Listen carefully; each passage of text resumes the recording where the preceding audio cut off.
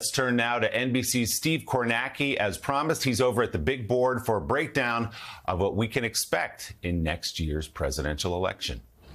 All right, well, we are approaching once every four years, the big one, the presidential election year 2024, almost upon us. So let's take a look here at how politics have kind of and how the election of 2024 has kind of taken shape in 23 and the big questions we're looking at as 2024 kicks off. So, first of all, who's going to be the Republican nominee, presumably against Joe Biden at the start of 2023? This seemed like a very uh, up in the air question. You can see the trend line for the candidates. And remember, at the start of 23, Republicans were coming off a pretty rough midterm term. Candidates who'd been closely aligned with Donald Trump had lost key races in 2022. At the start of 23, Ron DeSantis was running pretty close in the poll average to Donald Trump. And then look what happened. It just exploded here for Trump and went the other way for DeSantis. What happened right around here in the calendar? That was when the first indictment of Trump came down, the one from the Manhattan district attorney. It almost seems to have triggered a rally around Trump effect among Republicans, and that's just held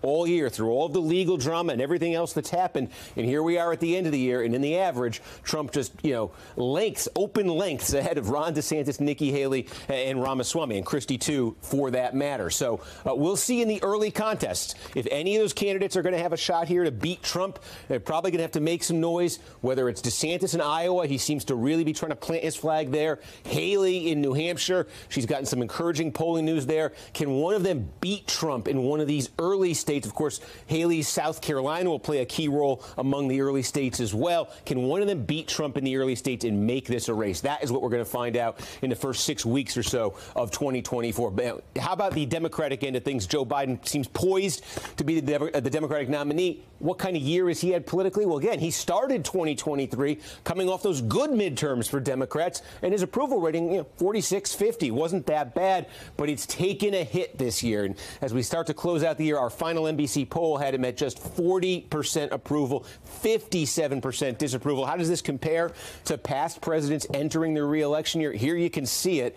Here's the 40 that we have Biden at right now. These are all the final polls heading into the election year, reelection year that NBC conducted. You just see all the recent presidents. Look, Trump got beat in 2020. He was at 44 heading into his reelection year. Bush Sr. got beat in 92. He was at 52 and heading south rapidly uh, there. But you see how that number compares. That's the lowest. That's the lowest in an NBC poll for an incumbent facing a reelection here. But it is a tight race when you poll Biden versus Trump at the start of the year. In the average of the polls nationally, Biden had a two point advantage. Now, uh, at the end of the year, it is Trump who, on average, has a two point advantage here. It's a very, very close race, obviously. Uh, and what are the concerns of voters? The dynamics we'll be talking about uh, if this race does materialize. Joe Biden, of course, is the oldest president ever at this point, uh, and his physical, fit, his fitness, his age, about three and four voters in our poll say it's a major or moderate concern. Big thing in 24 is going to be Trump's legal situation. Are there convictions? What goes on in the courtroom for him?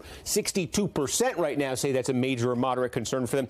Would that number change if there's some if there's a conviction? Would that number change based on how these cases start to sort out? Big question, obviously, we'll be following well into 2024. And this is interesting too. Just there is clearly what this ballot question is showing you here is matching Trump against just a generic Democrat. Trump loses sizably. Matching Biden against a generic Republican. Biden loses by double digits. It's just showing you broadly there's not a big appetite for Trump versus Biden, even though it seems that each party, at least as we enter 2024, is poised to go in that direction. And that leads to this final graphic here a poll from uh, uh, the Wall Street Journal recently. They included a bunch of third party options, and against Biden and Trump, they added up to 17%. That's a big question heading into 2024. Is there going to be a real third party candidate create a wild card in this?